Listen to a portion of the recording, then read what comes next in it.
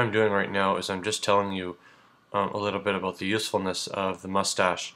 As you can see by my uh, elaborate winter getup, and it is winter now here, you can tell because there's a lot more rain than there used to be, but um, the mustache is actually quite a useful uh, feature on one's face because uh, unlike before where the upper portion of my face was naked, now it is protected uh, from the cold.